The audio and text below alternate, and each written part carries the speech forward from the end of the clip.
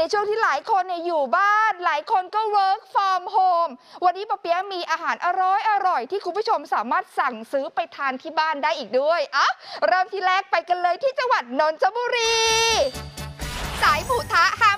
พลาดค่ะ ช่วงโควิดต้องอยู่บ้านมากขึ้น ก็ไม่เป็นอุปสรรคให้อิ่มจุกๆ ส่งทั้งหมูกระทะครบเครื่องพร้อมยืมเตาไฟฟ้าฟรีๆอีกด้วย เก๋ไหมล่ะคะคุณผู้ชม นี่ค่ะที่เพจร้านประจำ Delivery เขาบริการครบครันราคาน่ารักอย่างหมูกระทะชาบูเกรดพรีเมียม ราคาเริ่มต้นเนี่ย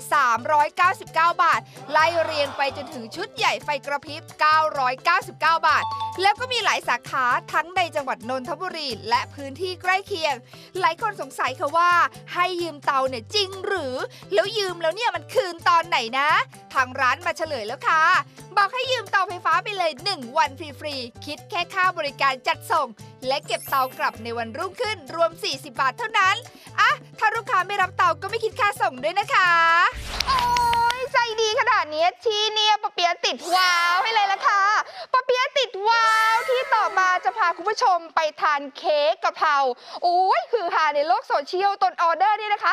ล้นแล้วล่ะค่ะอะไปกันเลยที่จังหวัดชนบุรี แชร์กันสนั่นโซเชียลกับข้าวกะเพราเอ้ ย เค้กข้าวกะเพราที่ไม่ใช่เอากะเพรามาราดขนมปังเหมือนที่เห็นทั่วไป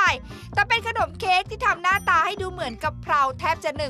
100%ถ้าดูผ่านๆเนี่ยอาจจะแยกไม่ออกเลยนะคะ เจ้าของฝีมือเค้กกะเพรานางสาววรรณาเฟื่องพวง เธอเป็นผู้ช่วยครูค่ะ ใช้เวลาว่างมาทำเค้กขายอุ้ยทำหน้าตาต่างๆ จนมาถึงเค้กกะเพราเนี่ยแหละค่ะ ใช้เวลาเพียง 2 เดือนนะคะทำให้มีลูกค้าเนี่ยออเดอร์เพียบ จนทำแทบไม่ทันเลย ซึ่งเค้กข้าวกะเพราไข่ดาวเนี่ยจะใช้คัพเค้กมาทำเป็นข้าว วางด้วยไข่ดาวที่ทำด้วยครีมสีขาวกับวุ้นสีส้ม ส่วนกะเพราก็จะใช้คุกกี้บดใส่ด้วยใบกระเพราแล้วเยลลี่สีแดงเนี่ยก็เป็นพริกอีกด้วยอะเพิ่มรสชาติกับคาราเมลนะคะ ให้ดูเหมือนเป็นน้ำปลาพริก โอ้ยคุณผู้ชมคะขอบอกนะคะ ว่าเค้กกะเพราเนี่ยสร้างความสนใจให้แก่ลูกค้าทำให้มีออเดอร์สั่งมาวันละหลายสิบกล่องเหลือเกิน แล้วราคาแต่ละกล่องเนี่ยไม่แพงนะคะ เพียงแค่หลัก 10 บาทเท่านั้น ส่งตามร้านค้าหรือว่าลูกค้าที่โทรมาออเดอร์เนี่ยก็ได้ด้วยอะคุณผู้ชมคะนอกจากเค้กกะเพราแล้วยังมีเค้กอีกหลายชนิด ไปดูกันได้ที่ Facebook ของเจ้าตัวเลยโอ้ my god ไอเดียเก๋ทำได้เหมือนข้าวกระเพราแบบนี้ ทีนี้ปะเปียะติดว้าวให้เลยละค่ะ